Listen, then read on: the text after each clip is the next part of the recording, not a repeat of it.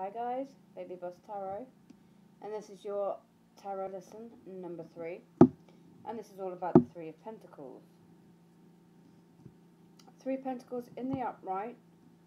Is learning, it's a studying, it's growing, it's hard work, it's commitment, it's building on success, it's collaboration, it's determination, this is goals, attention to detail, reward, recognition, effort, and motivation sometimes can mean third party, but it also can mean reconciliation as well.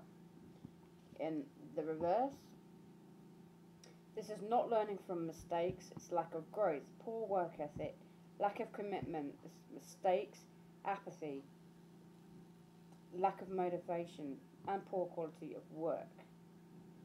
Its ruling planet is Mars, the key words often associated with the Three of Pentacles is use of knowledge, foundation, mathematics. The affirmation is I understand the equation of life. It is associated with the zodiac sign of Capricorn. The element is earth, and as a yes or no question, it is a yes.